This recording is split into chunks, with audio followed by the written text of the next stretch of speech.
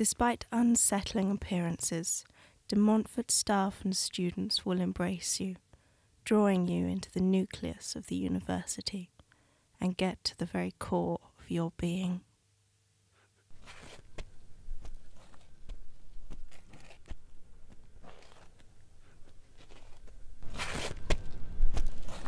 I finally got it!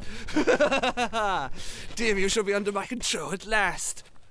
Igor, flip the switch! Yes, master. It's alive!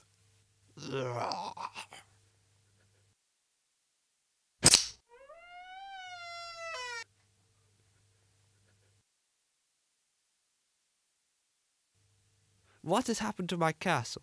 Ah, why, hello, Doctor. Scared? You should be.